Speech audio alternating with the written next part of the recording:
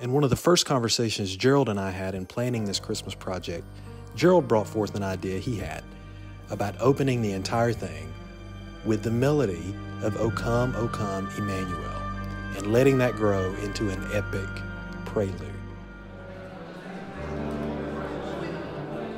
And so, a few months later, when we all arrived at Abbey Road and it was time for the session to begin, the first song we got to hear was this prelude. And I'm going to tell you, it was epic.